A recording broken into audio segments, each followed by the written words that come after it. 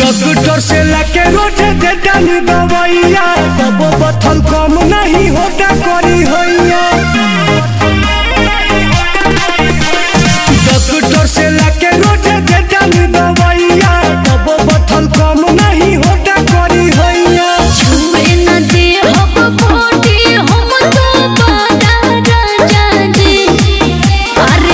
चल